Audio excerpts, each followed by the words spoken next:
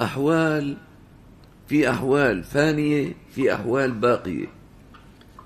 الحال على حالين حال باقي وحال فاني الحال الفاني ينقلب ويتغير. الحال الباقي ينقلب إلى مقام. بتغير بيرجع بيصير مقام. فالحال يمكن أن يكون مقاما. كذاكر انبعث من قلبه وارد المحاسبة. وهو عم يذكر صار يحاسب نفسه.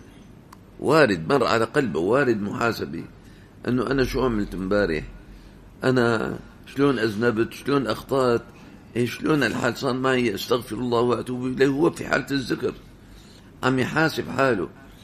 فبعد الذكر يبتبقى معه المحاسبة. هذا انتقل انتقل حاله إلى المقام. صار عم يحاسب حاله.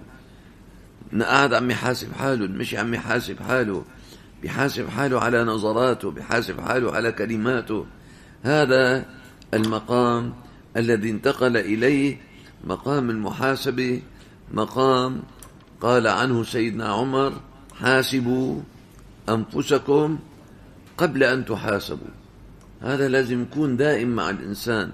فهذا مقام انتقل إلى مقام المحاسبة وهو مقام رفيع في سلوك في سلوك الطريق.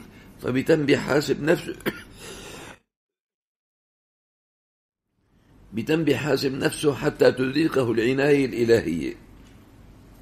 فإذا العناية الإلهية أحاطت به فيغلب حال المحاسبة على النفس.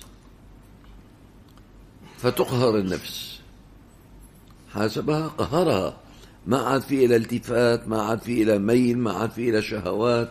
محاسبة قهر النفس وتبقى المحاسبة مستقرة في القلب.